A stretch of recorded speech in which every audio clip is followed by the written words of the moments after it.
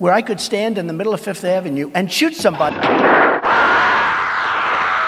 And I wouldn't lose any voters. So It's good to be the king.